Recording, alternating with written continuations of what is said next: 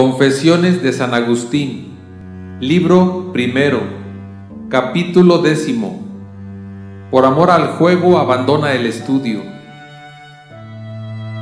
Con todo pecaba, Señor mío, ordenador y creador de todas las cosas de la naturaleza,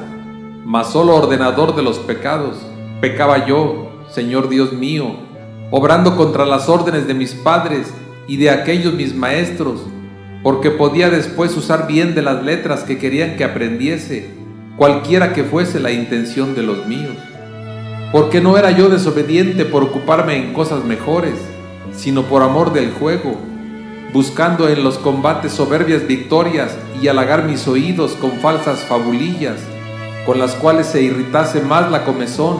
al mismo tiempo que con idéntica curiosidad se encandilaban mis ojos más y más por ver espectáculos